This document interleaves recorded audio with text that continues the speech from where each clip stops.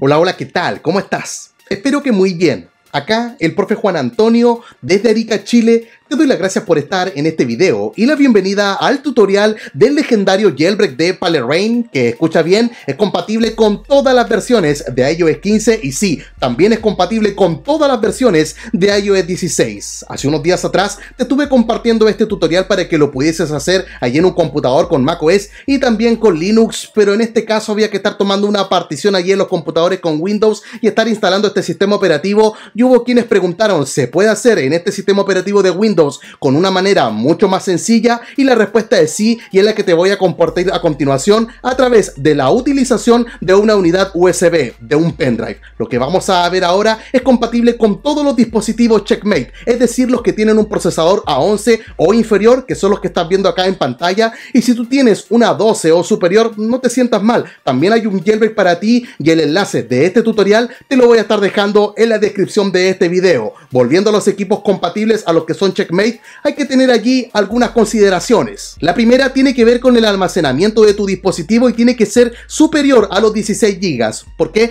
Porque el jailbreak de Palerain va a ocupar de tu espacio 10 GB para hacer la instalación de su jailbreak y hacer que todos los tweaks estén funcionando. Así que tiene que ser superior a esta medida. La segunda y última consideración es solamente para los iPhone 8, 8 Plus, el X, el iPhone 10. Estos equipos, antes de realizar el jailbreak, si es que se encuentran en iOS 15, tienen que ir a los configuraciones de iOS ahí directamente en el equipo y estar desactivando el código de bloqueo, el Touch ID y el Face ID. Y si es que estos equipos se encuentran en iOS 16, la historia es un poco distinta, es un poco más complicada, debido a que los equipos en este iOS nunca debieron haber configurado el código, el Face ID y el Touch ID si es que lo hicieron alguna vez, tienes que estar restableciendo las configuraciones. Para aquello, tienes que ir al icono de las configuraciones de iOS general y restablecer toda la configuración o simplemente estarlo restaurando, formateando el dispositivo con iTunes y teniéndolo ahí limpiecito sin ningún rastro de código. Luego haces el jailbreak y después Después no se puede activar ningún medio de seguridad, pero no te preocupes porque hay un tweak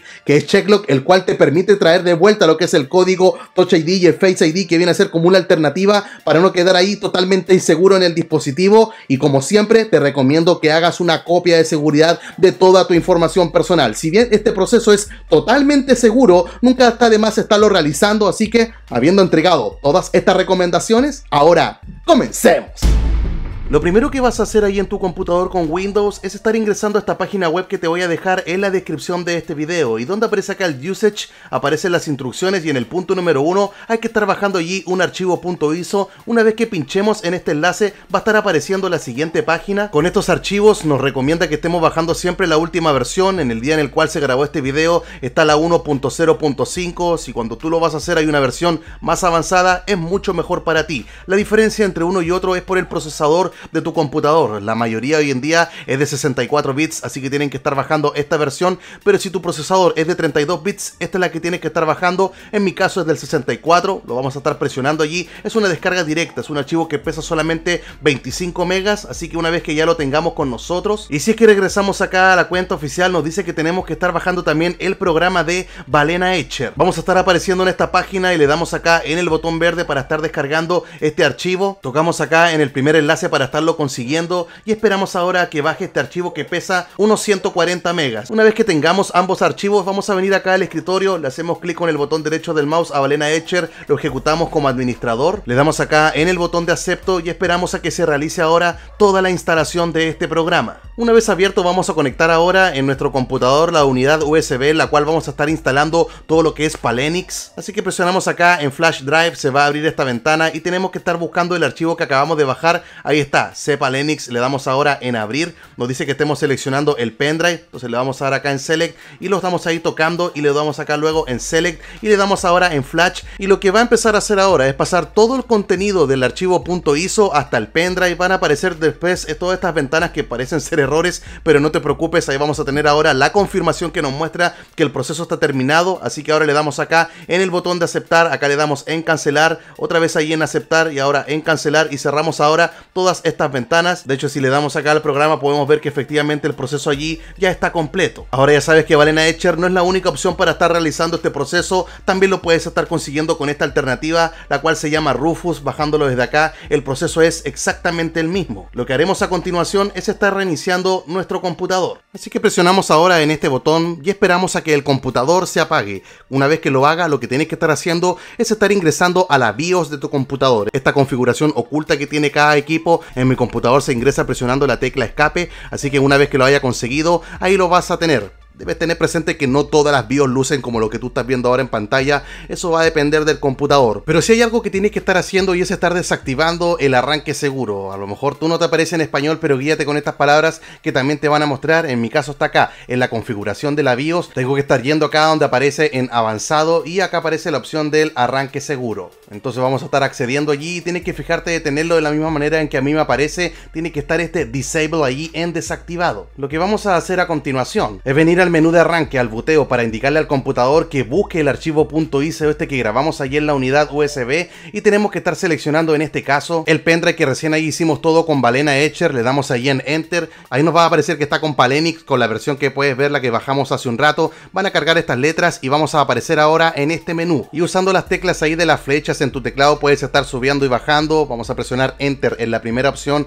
en la de Pale Rain, vamos a bajar ahora acá las opciones antes de presionar ahí en el botón de Start. Y esta primera, la del Create, el Fake FS, es muy importante. Si es que tú nunca has realizado el jailbreak de Rain en este dispositivo, Presionando allí en la tecla del espacio vas a tenerlo seleccionado. Esto lo tienes que hacer solamente una vez, la primera vez que realizas el jailbreak a tu dispositivo. Yo también voy a estar marcando la segunda opción, la del verboost, que vienen a ser unas letras que te muestran que el jailbreak se está realizando sin problemas. Es interesante porque desde acá mismo tú puedes estar ingresando allí al Safe Mode, el modo seguro. Esto te va a permitir estar desinstalando algún tweak que te esté generando algún problema y también tienes la opción del Restore Root FS que es para estar eliminando este jailbreak. Aquí también vamos a estar bajando hasta la última opción, a del debug, también le vamos a dar allí en espacio, presionamos ahí en Enter, luego bajamos a la tercera opción, a la del Switch. Acá vamos a estar escogiendo entre un jailbreak tipo rootful o rootless, obviamente va a ser full para que sea allí completo, presionamos allí en Enter. Ahora vamos a conectar nuestro dispositivo al computador vía cable USB, una vez que lo hayamos realizado va a aparecer el siguiente mensaje,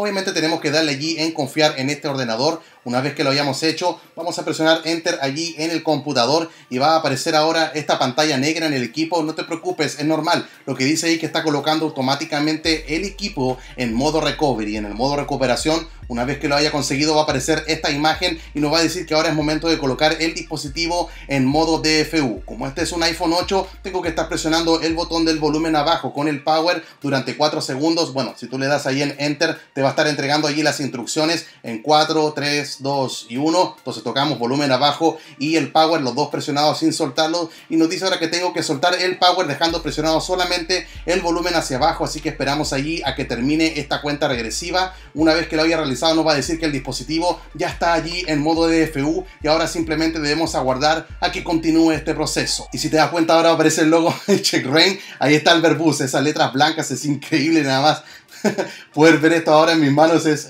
fabuloso. Ahora, si tú tienes un equipo que tiene un procesador A9 o inferior, hablando de los iPhone 6, 6 Plus, 6S, 6S Plus y el SE primera generación, si es que se llega a quedar atrapado el dispositivo en esta ventana de las letras blancas con el logo de CheckRain, lo que tienes que hacer en el teclado es estar presionado Control C las mismas teclas que tú presionas cuando quieres copiar un elemento, control C y estar escribiendo la palabra exit y te va a enviar otra vez al menú de Palenix y tienes que hacer todo el jailbreak otra vez y lo vas a realizar sin ningún problema. Ahora este proceso del fake FS toma como unos 10-15 minutos. Tienes que esperar ahí nada más y no desconectar por nada del mundo el equipo del computador. Una vez que concluya esta parte lo que tienes que estar presionando es allí en Enter y vas a volver al menú inicial. Ahora vamos a bajar ahí al menú al número 2 a las opciones y cuando ingresemos si te das cuenta el Create Fake FS número 1 está ahí desmarcado. Vamos a presionar ahí en el espacio, en el verbus, para que esté mostrando unas letras cuando esté realizando ahí el jailbreak en la pantalla del equipo. Le damos ahora en Enter y vamos a presionar otra vez ahí en estar teniendo conectado nuestro dispositivo al computador. Ya sabes que ahora lo va a estar colocando allí en el modo recovery, así que tenemos que esperar hasta que aparezca el logo de Apple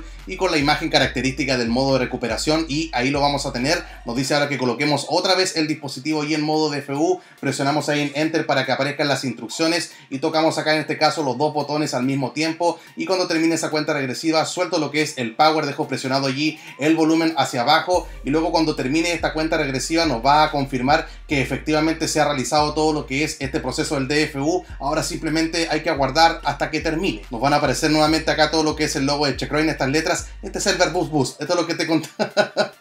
Qué genial poder ver esto nuevamente ahí en mis manos. Ya está listo prácticamente el jailbreak en este instante. Entonces ahora tenemos que aguardar a que todo esto finalice. Va a aparecer allí el logo de Apple. Seguimos esperando y vamos a entrar allí a la pantalla de bloqueo. Y una vez que hayamos accedido, si te das cuenta, vamos a tener acá en la pantalla de inicio allí el icono de Rain. Este es importante. Te va a estar apareciendo. Si no te sale, tienes que simplemente estar aguardando allí unos segundos y lo vas a tener ya contigo. Lo vamos a estar allí abriendo. Así que estando ahora en nuestro dispositivo y estando conectados al Wi-Fi o a los datos móviles, vamos a tocar allí en el botón de instalar y esperamos a que continúe todo este proceso donde va a estar cargando varias utilidades necesarias para que el jailbreak se pueda realizar y que obviamente los tweaks se puedan estar instalando. Así que ahora esperamos allí hasta que avance. Cuando nos aparezca este mensaje le vamos a dar acá en Always Allow para tener allí un funcionamiento correcto con los tweaks. Una vez que termine nos va a decir que la instalación ha finalizado, que disfrutemos todo esto. Se habilita abajo el botón del Respring para hacer un reinicio rápido. Lo vamos a estar allí presionando y esperamos a que regrese el dispositivo.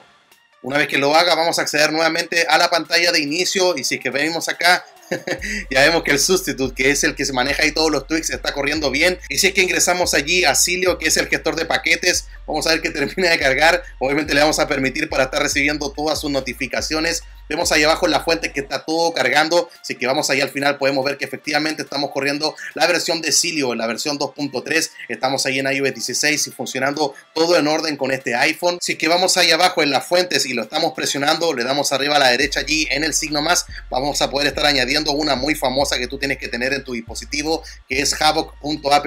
Le damos allí en añadir fuente y esperamos a que esta sea cargada allí en el dispositivo. Podemos ir abajo al menú de los paquetes donde aparece ese globo con la 27 notificaciones. Tocamos acá en actualizar todo, se habilita este banner. Le damos ahora luego allí en confirmar y esperamos a que baje cada uno de ellos. Y una vez que lo haya realizado va a proceder a la instalación de cada uno de estos paquetes y aguardamos simplemente hasta que finalice. Y cuando aparezca el botón de reiniciar Cilio lo estás presionando, te va a mandar otra vez ahí a la pantalla de inicio y lo vamos a estar abriendo ahora. Una vez que lo tengamos ahí con nosotros, vamos a ir abajo al buscador y vamos a estar escribiendo el legendario Cylinder. Vamos a estar bajando la versión Reborn que aparece allí y le damos acá en obtener, se habilita este banner, lo vamos a estar ahí presionando, le damos ahora en confirmar, esperamos ahora que lo descargue y lo instale, le damos ahí abajo en listo, vamos a ir ahora a la pantalla de inicio, vamos a ingresar acá a la aplicación de Parler Rain, una vez que estemos dentro, vamos a estar tocando ahí el icono de la tuerca, de los ajustes, cuando lo hayamos presionado, le vamos a dar allí al botón de Respring para que se haga un reinicio rápido del dispositivo.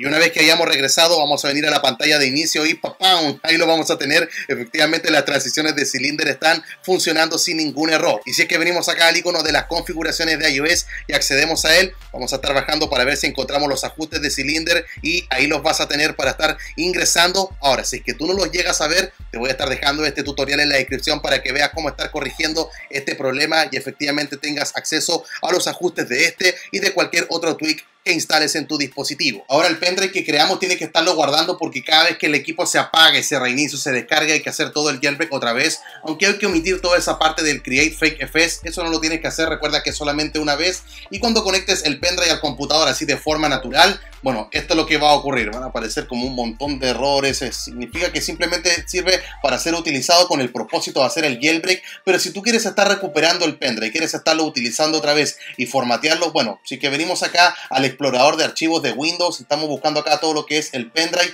Venimos acá a el equipo. Aquí lo vamos a estar encontrando. Y si te das cuenta, el pendrive aparece así como con varias unidades. No podemos aplicar un formateo tradicional como estamos acostumbrados con hacerle un clic botón derecho del mouse y estarlo formateando si es que lo eliges, se forma todo un lío. Mira nada más ahí los kilobytes, no está todo correcto. ¿Cómo es que lo podemos estar solucionando esto? Vamos a venir acá al icono de la lupa del buscador y vamos a estar escribiendo el CMD que nos va a estar mostrando los símbolos del sistema. Tocamos acá en ejecutar como administrador y tenemos que ahora estar escribiendo diskpart para estar entrando allí a las particiones. Nos va a aparecer ahora este mensaje y le vamos a decir que muestre una lista de todos los discos. Ahí el list disk le damos ahí en enter y ahí tú vas a poder estar identificando el disco 0 que bueno, viene a ser el disco del computador y el disco 1 y lo puedo ver por la cantidad de megas ese viene a ser este pendrive, esta unidad USB. Entonces le vamos a decir que esté seleccionando el disco, en este caso es el número 1. Una vez que este ya está allí seleccionado, vamos a escribir acá clean para que esté realizando una limpieza y finalmente le vamos a decir ahí, ya cuando nos muestra esto ya, ya vamos súper bien. Bueno, le vamos a dar acá en cancelar a este mensaje y volvemos acá al, al CMD y le vamos a decir que esté creando una partición primaria. Entonces una vez que lo hayamos conseguido, le damos ahí en enter y ya está listo. Ahora podemos volver acá a nuestro explorador de archivos y si es que venimos acá a este equipo, ya el pendrive ya está listo ya en solamente una unidad entonces ahora hacemos clic con el botón derecho del mouse, le damos acá en formatear y si te das cuenta ahora sí aparecen todos los gigas, le damos acá en iniciar, otra vez allí en aceptar y ahora sí lo va a estar limpiando una vez que todo esto concluya. Nos va a aparecer este mensaje, le damos acá en cerrar y ahora podemos estar ingresando con toda libertad a esta unidad USB. Y si quieres saber cuáles otros tweaks tú puedes estar instalando en tu dispositivo, bueno, luego que te suscribas y actives la campanita de este canal, te recomiendo que vayas a la parte superior donde aparecen acá las listas de reproducción y estés buscando la que se llama esta reviews de Twix y aplicaciones y una vez que hayas accedido vas a estar encontrando muchos otros videos donde te enseño cómo sacar del aburrimiento a tu dispositivo iOS y realizar un viaje al futuro gracias al jailbreak. Así que sería todo eso por esta ocasión. Se despide ahora el profe Juan Antonio de Arica, Chile. Te espero esta semana con otro video. Chao, chao.